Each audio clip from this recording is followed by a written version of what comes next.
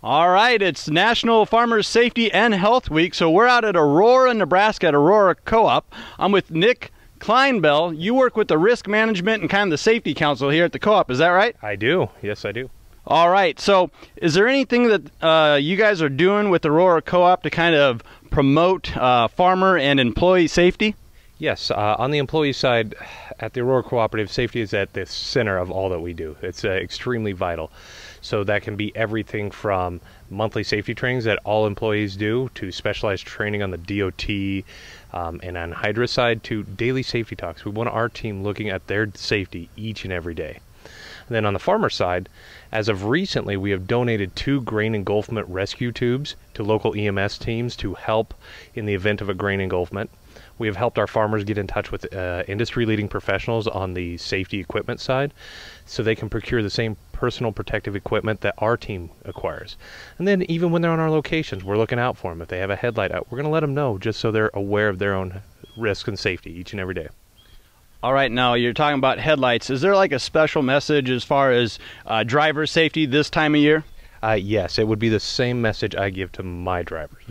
First and foremost, minimize distractions. Put the cell phone down. Pull over to the side of the road to make that call, that email, that text.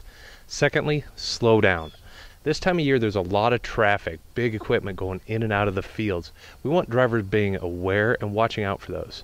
And thirdly, if you're on county roads with the height of the crops and everything, we want you slowing down at those intersections. We know they're four way, they're blind intersections.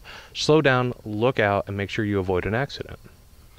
Uh, now, I also understand you guys are being a little proactive. You got something new going out with the kids or younger adults, so they're a little bit more visible. Could you uh, take a minute and tell me about that? Absolutely. Uh, this year, at every one of our grain locations, we're giving out high visibility T-shirts for the kids this year, and high vis T-shirts really help when with visual safety. So if they're on the farm, they're on location, they're out in the field, makes them easier to see to avoid accidents.